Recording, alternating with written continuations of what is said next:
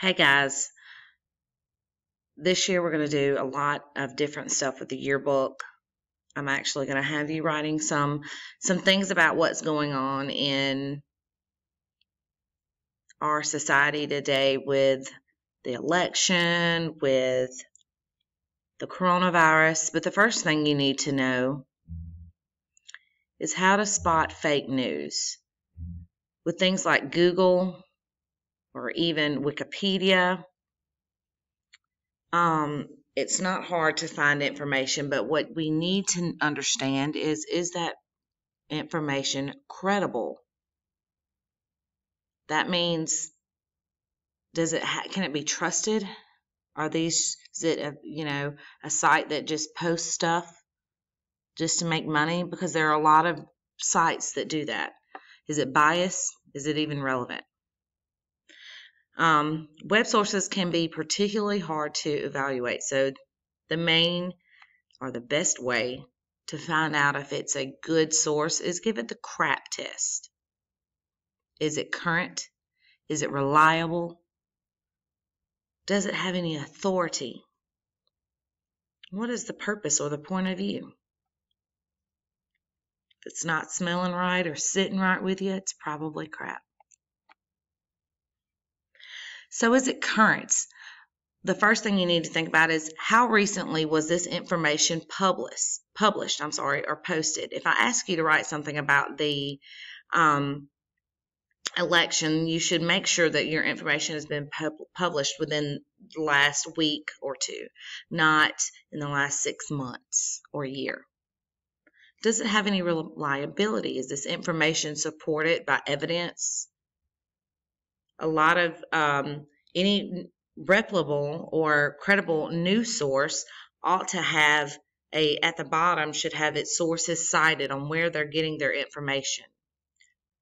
Who wrote the information? Is it a bunch of teenagers? No offense, but you're writing for the yearbook. If you're getting it off, getting it off the internet and it's written by a bunch of teenagers, it may not be reliable at all. Does it have any authority? Again, that goes back to who wrote the information. Are they an expert? Usually they should might need to have a doctor or professor or something like that in front of their name.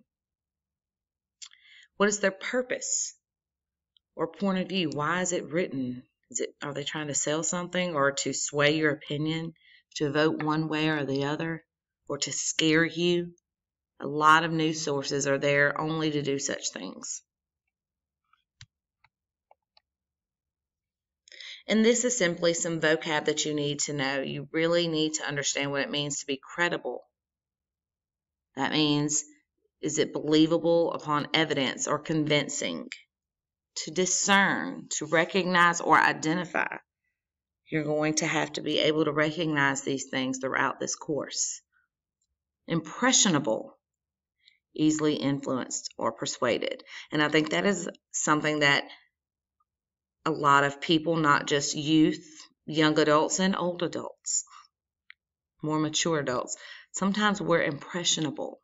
We're easily influenced. We don't question why. And that's the main thing that I want you to do throughout this course is question why?